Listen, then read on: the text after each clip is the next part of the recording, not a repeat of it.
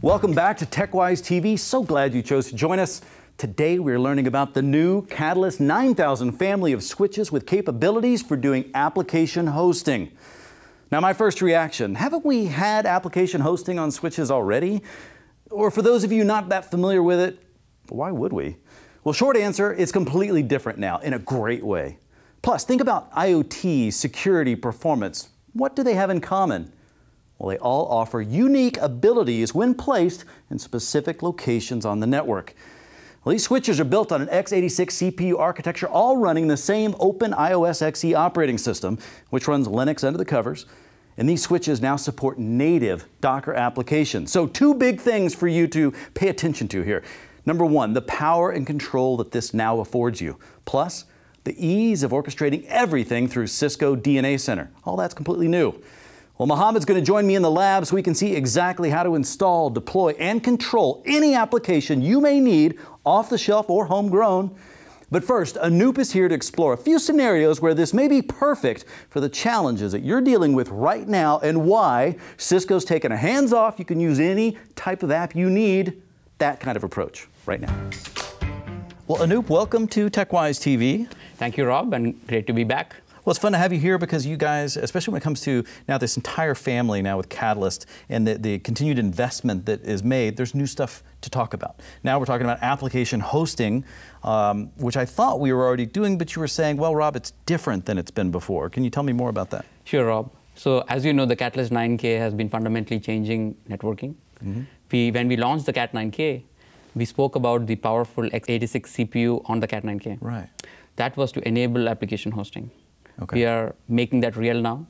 We are launching Docker container-based app hosting environment on the Cat 9K, starting with the 9300 series. Okay, well that'll make things a whole lot easier, I would imagine. Now, for anybody that didn't, maybe didn't fully understand, well, why would I run applications on my switch? Because we don't usually think of it in that way. What kind of examples or use cases would you say, hey, this is what people either are already doing or are going to want to do? Sure, Rob. So data is becoming more important than ever. Sure new technologies like artificial intelligence and machine learning is giving us new intelligence from the data. The Cat9K with OpenIOS XE software operating uh -huh. system and the UADP ASIC allows us to extract new data from the network. But it's not just the network that is sending the data. Really? The clients and the applications are also sending data. Okay. And the deluge of data from these three places is basically creating a situation that is overwhelming a centralized processing of the data. Huh. Okay. The network edge is the most efficient place to be able to run the distributed processing of this data.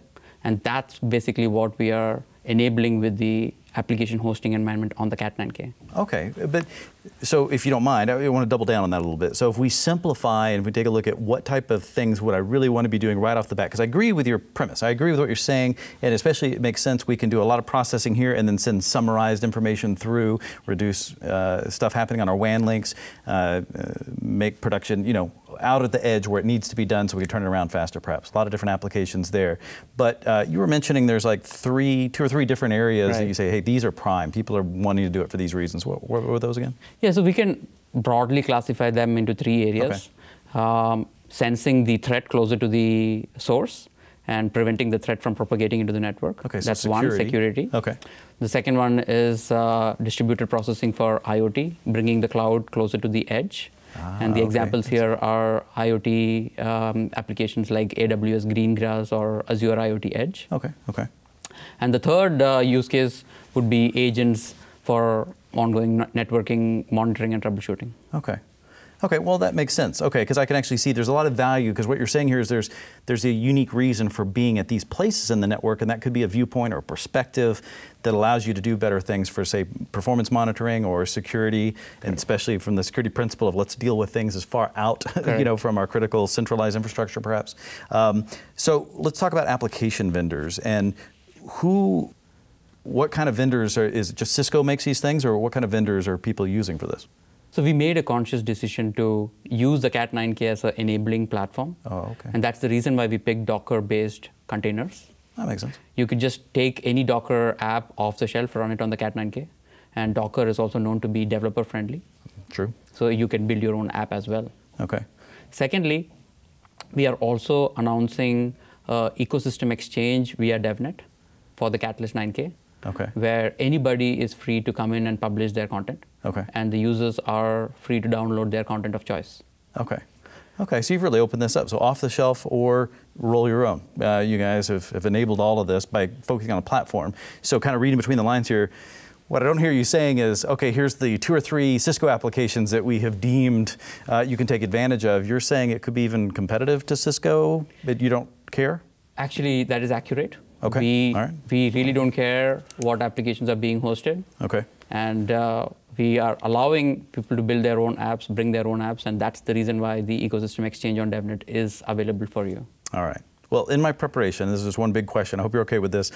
Uh, and this because this makes complete sense to me, but I saw it raised that there's a concern potentially with when you talk about putting applications on something mission critical like a switch, how do you keep the two from interfering with each other? Because it feels like that could be a recipe for something out of control.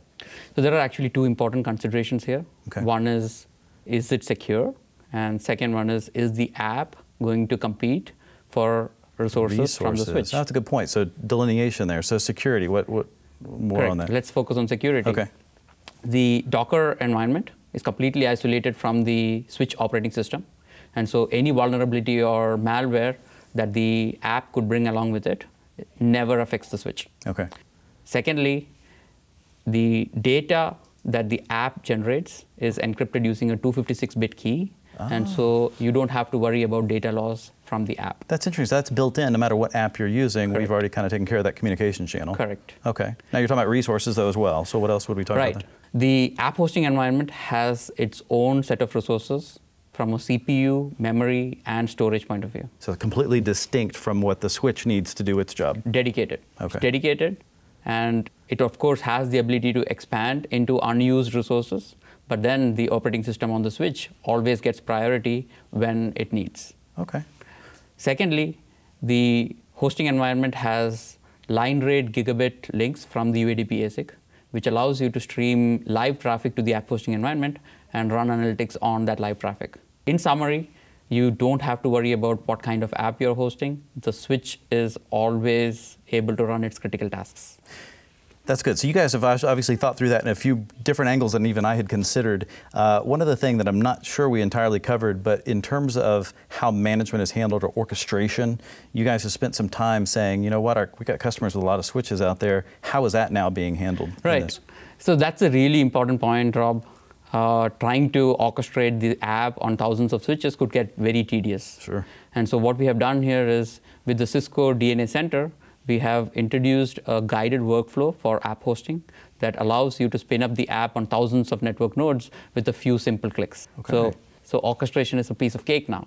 Gotcha. Orchestration's a piece of cake. Okay, so DNA Center, people are probably already using that in a lot of situations now. There's continued value there as well in terms of handling the orchestration. Uh, off-the-shelf applications, roll your own. You guys have made it very easy to focus on being a platform now with the native Docker support. Anything else we need to cover? Yeah, good, job. That's awesome. Anoop, thank you so much. I'm going to go check in with Mohammed in the lab, see how all this works. Looks like you're about ready. All right, Mohammed, hey, welcome back to TechWise TV. Hey Rob, good I to talk to you again. I think you may have actually the record for the most number of appearances here. So you're, you're obviously playing in the right new areas within Cisco. Maybe in the last two years Yeah. since we introduced the Cat 9K. That's actually, well, okay, now you've revealed what, this, what the source of continuation is here. So, okay, we have a 9300 here. We're talking about application hosting, and I'm hoping you can give us more details about how all this kind of comes together. Yes, application hosting on the Catalyst 9K, and we are starting with Catalyst 9300 here. The Catalyst 9300 is coming up with a Docker engine, is starting 16, 12, 1, Okay, which is in July. okay. And our one command center, your favorite DNA, Cisco DNA Center, Cisco DNA Center. right? is going to be the orchestration tool for the application hosting as well. Okay, so right? native Docker running on the Catalyst 9300 to start. We're coming out in July, specifically starting with just that platform, and then orchestrated through Cisco DNA Center to make it all easy, because obviously we're always talking about multiple switches. Exactly. Okay. So the foundational elements of the Catalyst 9000 that we have is powerful. We have talked about UADP many times. Absolutely. We have IOS XE, which is a modernized and uh, a very flexible and powerful operating system. Right. Uh, we have talked about x86 based CPU.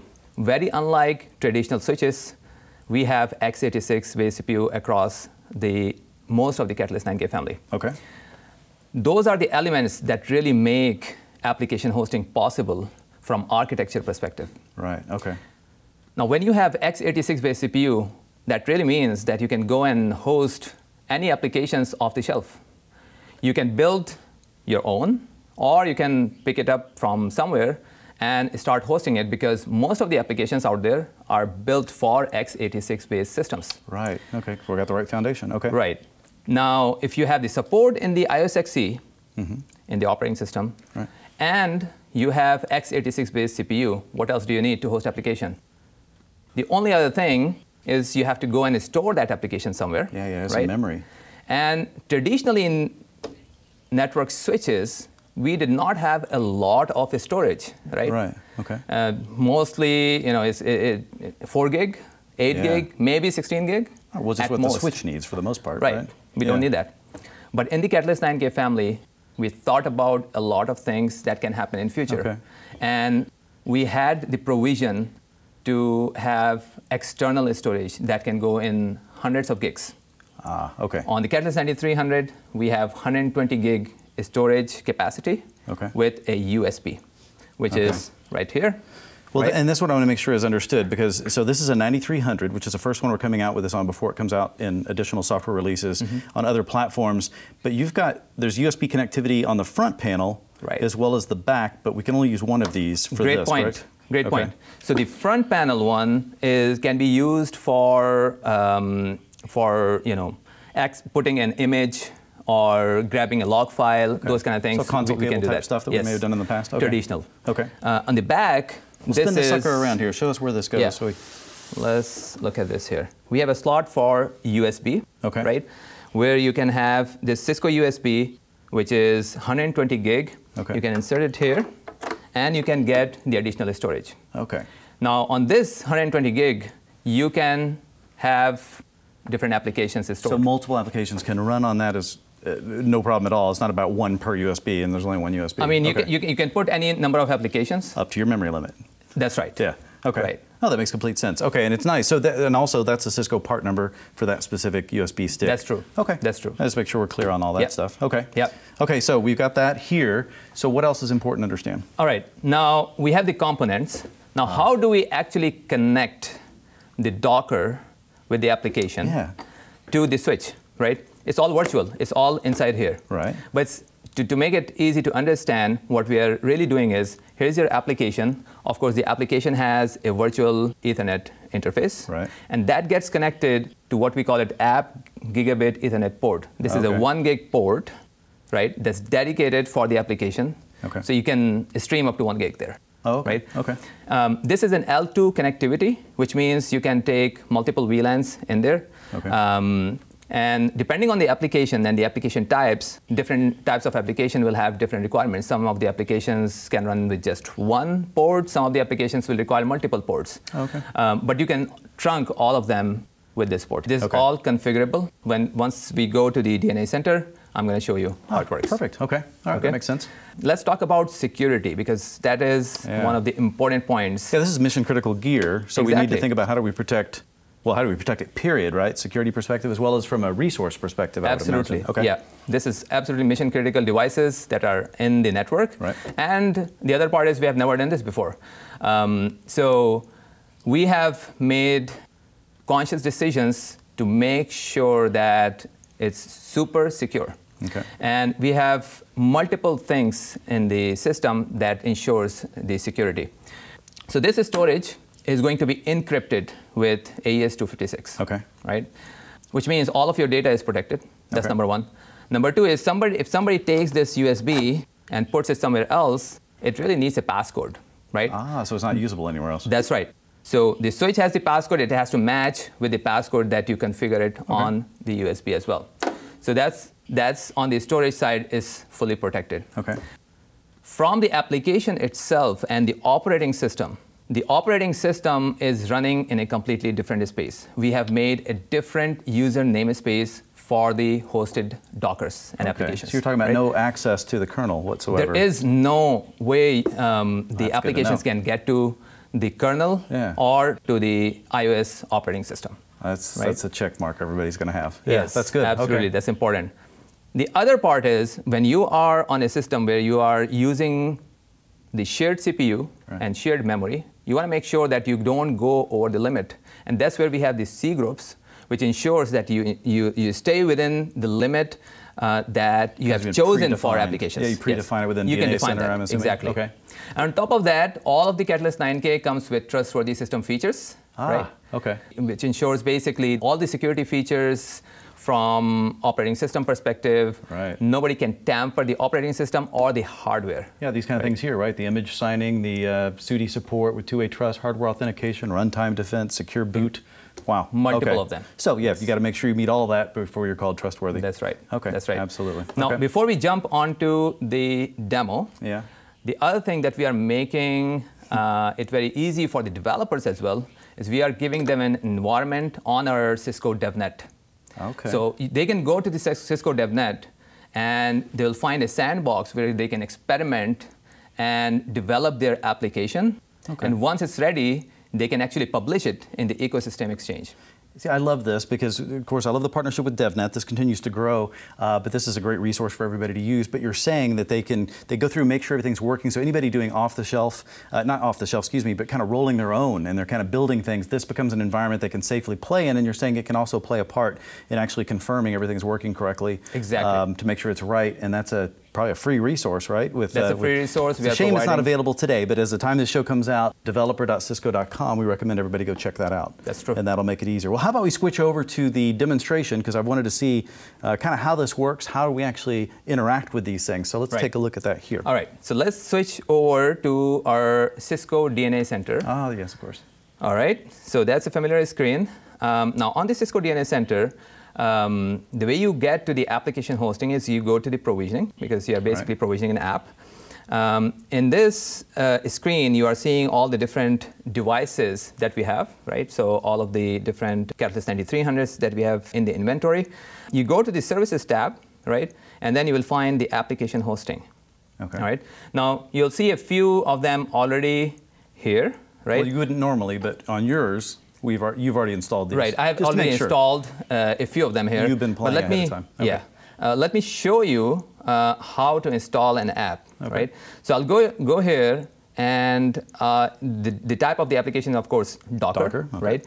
And the second thing that you can choose optionally is the category because Oh. sometimes people want to categorize this this for monitoring, this for security, IoT, right? So especially you see on the screen, that may be a way if you've got multiple applications to quickly see what you're looking for. Exactly. Okay. Exactly. So I'm going to say monitoring, uh, and then I'll just go and um, pick my tar file that I have developed, right?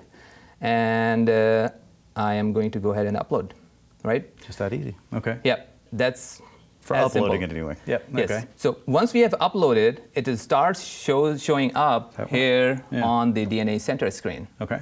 Now, you can go from here and install it on as many number of Catalyst 9300s as possible. Okay. Right? Whatever number of 9300s you have in your network, right? This is an access switch. You probably have hundreds of them. Right. You can go in there and deploy it with just a few clicks. I'll show you how across all of your that. network. So from that right? one screen, all right, how so that work? for to deploy that, let me pick a more um, interesting example of perf sonar. Okay. Okay, so I'm going to go here and click on this one. Um, you have a few options here to kind of update the application or delete the application if you want, but let me go ahead and get started with the installation. Now, once you are on the first screen, the first thing that you will see is the inventory of devices where it can be installed. All the switches. That's right. Okay. And it's intelligent enough to tell you which of these switches are ready, right? So you'll see those green tick marks Okay. that these two switches are ready. So let me select these two, uh, but these could be as many as you want, right? It could be okay. thousands. So you can select all with one click on the top there, it looks like. Right. Okay. All right. So once you have um, selected that, then you go to the next step here on the configure app, right? So that's the second step. Now here you have a few things to choose if you want. Number one is The network. the network. So this this pulls from the different VLANs that we have already set up. Oh, okay, that makes more sense. So Okay. in which VLAN you want to put this application, right? Uh, so that's the network that I'm going to choose. Uh, I'll choose app hosting. Then you have an option to um, assign a static IP address or just get a dynamic IP address from a DHCP. DHCP server, Okay. right? So by default, it's dyna- uh, dynamic. I'll keep it as is. And um, another thing here that you can look at is resource allocation. So we talked about CPU and memory. Right. Right. This is where you set that up? Yeah, that's where we can set it up. Now you have a couple of options. Just to keep it easy, you can just go and use all the allocated space for the application, not Right. the operating system. Operating system is Right. separate. Um, or you can customize it. So you can go here and say how much of the CPU I can use. And to have better granularity, we have broken the CPU resource into some units. Okay. And so it's showing up here 4,000 units. Um, you can choose whatever you want um, based on the application. available if you have multiple need. applications and the importance of it and that type of thing. Exactly, Okay. right? So at this point, I'm going to go ahead and allocate everything.